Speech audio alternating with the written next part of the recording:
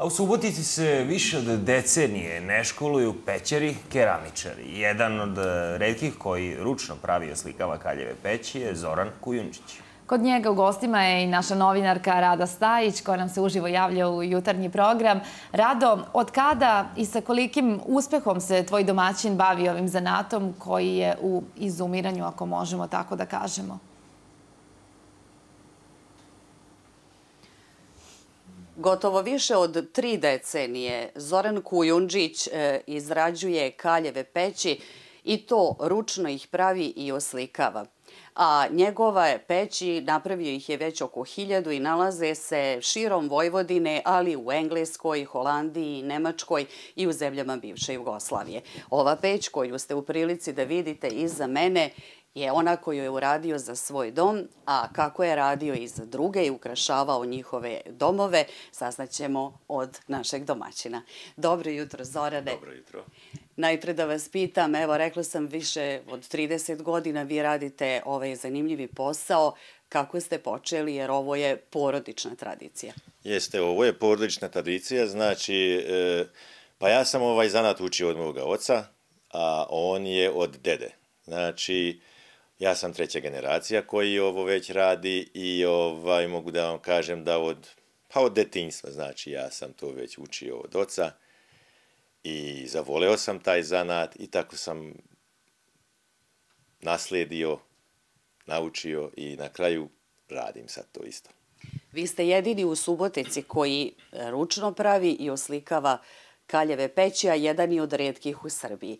Pomenuh da ste oko, kao što ste i vi rekli, oko hiljadu e, ovih peći napravili, pa da izdvojimo neke od njih, jer vaše kaljeve peći krase mnoge institucije i u Subotici. Pa, pazite, radili smo svugde, znači, recimo na teritoriji Subotici malo poznati su ovaj, Majkin Salaš ili recimo Salaš Zvonka Bogdana, znači, radili smo tamo dosta stvari, a naravno i za, za građane i za svakog, znači. A radili smo i, i širom Srbije i širom sveta, znači u Holandiji smo pravili jednu jako lepu stvar, ručno rađeno isto sa slikom Edvarda Manča Vrisak i, i tako dalje. Znači mi idemo gde nas zovu i mi radimo za svakoga. Poznati ste po tome što jako volite svoj posao i ništa vam nije teško. Evo i sad ste zbog nas e, odložili put za Beograd gde ugrađujete jednu od kaljevih peći, evo da bismo i drugima predstavili ovaj posao. E, vi ručno radite i oslikavate E, kaljeve peći i zbog toga imate i zvanično sertifikat od strane našeg ministarstva da ste čuvar ovog starog zanata. E, koliko je potrebno veštine, truda i posvećenosti da bi se radio ovaj posao? A, jako puno. Znači, bukvalno dan i noć ja razmišljam u poslu, znači, pošto volim svoj znalad, znači, to je jedna vrsta umetnosti. I svaki put razmišljam o tome kako da, da napravim tu ploču, kako da bude lepša, kako da se usavrši. Znači, morate biti posvećeni baš, baš poslu da bi uspeli, da bi zaradili. Znači, morate raditi baš puno, jako puno. Ovaj posao je i tražen, koliko znam vi uvek imate posla, evo već u Subotici se već deseta godina ne školuju e, ljudi koji bi se bavili ovim poslom. Šta vi kažete na to o tome kako očuvati ovu tradiciju? Zašto kad ima posla e, i tražen je i koliko znam i dobro plaćen, zašto nema onih koji bi ga radili? Pa to je veliki problem jer e, fale radnici, fale ljudi koji bi to radili. Znači, sva sreća ja imam decu, četvoro, e, od kojih će neko sigurno da nastavi moj zanat, znači bit će nasljednika, ali nemamo radnike, znači u školi se više to ne uči, mm, nema ko da dođe, neće mladi da rade, nažalost, takva su vremena, više se bave s nekim, nekim drugim stvarima.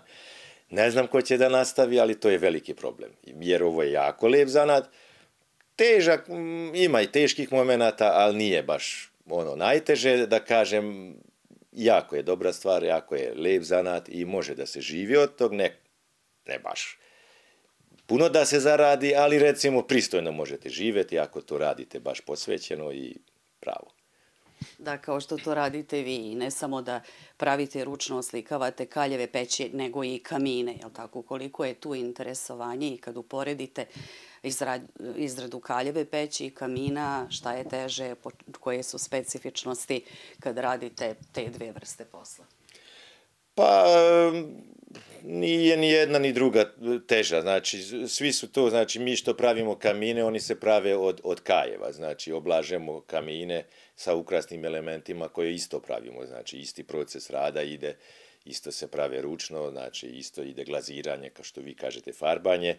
Ovaj, tako da, mada sve zavisi. Znači, svaka naša peć je posebna. Znači, mi pravimo e, po zahtevu kupca, znači, kupac može da bira mustru, boju, veličinu mi kažemo kolika mora biti za grejanje, znači da ta zagreje taj prostor, a sve ostalo kupac može sam da bira, znači i onda mi pravimo, znači po zahtevu kupca. Vi toliko volite svoj posao da ste spremni sami da napravite alat kako biste mogli da što bolje ručno izradite i oslikate kaljevu peć. Pa gde nabavljate i kako pravite i taj alat? Pa alat je nejako teško nabaviti, pošto je ovo specifičan zanad, znači najviše stvari treba da se nabavi iz inostranstva ili napraviti sam. Znači, pošto sam ja naučio zanat od moga oca, on je bio bravar i ja sam radio jedno vreme kao bravar, pa znam te popratne poslove, znači da varim i tako dalje. I mi pravimo, znači, sebi alat, znači, po nekim literaturama, znači, po nekim crtežima pogledamo i onda napravimo. I moramo tako, jer nema drugde gde da se nabavi. Napravili ste mnogo kaljevih peći, da li biste izdvojili neke koje su bile poseban izazov ili za koje je vezana neka zanimljiva anegdota? Pa poseban izazov recimo na Salašu Zvonko Bogdana što smo pravili veliku peć u, u, u svadbenoj sali.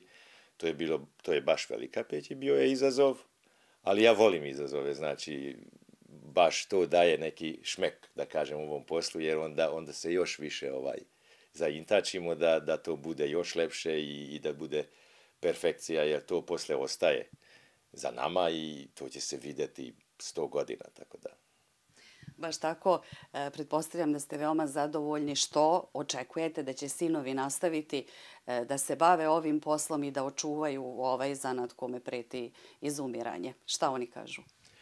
Pa oni su od malena, naročito dvoje malih, oni su od malena sa mnom u radionici, njima je to bilo u suštini kao igra, da oni meni pomažu i to su oni navikli na to da je to rad i vole to i da se pare zarađuju, znači kad treba džeparac, onda kažem, e može, ali treba pomoći tati. I onda odma trče i, e, ja ću, ja ću, kad manji neće, onda kaže, pa ja ću zato što ti dobiti pare, kaže. I onda, oni su već tako naučeni da pare se zarađuju, a ne dobijaju se. Pa baš lepo, e, Zorane, uspešni ste u svom poslu, a imate i naslednike. Želimo vam da tako bude i u buduće, da puno radite uspešno i da sačuvate ovaj stari zanat kome eto preti izumiranje.